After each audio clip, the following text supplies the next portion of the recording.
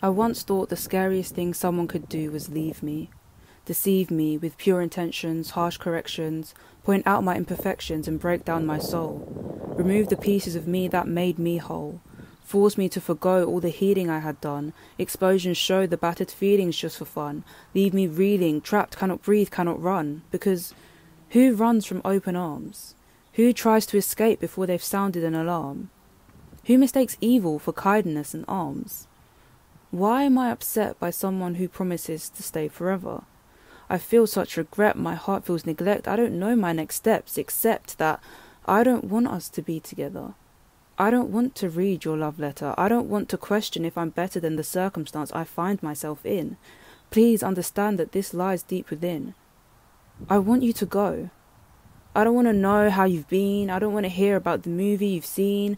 I don't want to see your name on my screen. I don't need your shoulder to lean on. I don't need your presence to find comfort from. Laugh or fight or tell me I'm right when I'm wrong, please. I want you gone. I once thought the scariest thing someone could do is leave me, but what's scarier is someone who won't free me. No real expression or a chance to be me. Rose tinted glasses so I won't ever see the mess you've made. I know you won't confess, take credit for the stress and disorientation you've transgressed through your fiendish acts.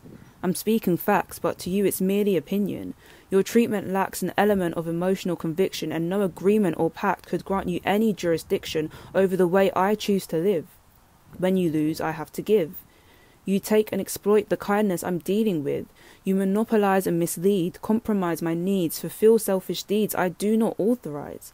God knows I tried to find a way out, to unmuffle the shouts, keep count of the times you inflicted self doubt. Was I not clear enough? Was I too kind, too gentle, too soft, too trusting that a fellow human being might know when to stop? When to drop the conversation, cut off all association, listen to the exclamation of which I expressed my opinion. No, you may not continue, you may not even begin. You cannot do or think of anything which lets you win. You cannot trap me in with your narcissism, incessant criticism, manipulative optimism that you use as a defense mechanism to hide your true self. You're a narcissist. Your trauma helped assist the savior complex in me that couldn't resist doing the saving. You play the cards you're dealt. You didn't care how I felt. You're only losing your mind now because I'm not here to help. I once thought the scariest thing someone could do is leave me, but the scariest thing someone can do is plead to stay. Refuse to go away, instead obsess over me yet another day. I want to feel no real fear, have no actual reason to need safety near, no worries of the ones who lurk and leer, no stories from the ones who won't disappear, no obsessive declarations, unwanted information, forceful relations, or anything anyone could do to make me scared. I've drawn the line, so be prepared. I'm fine, so you would go if you really cared.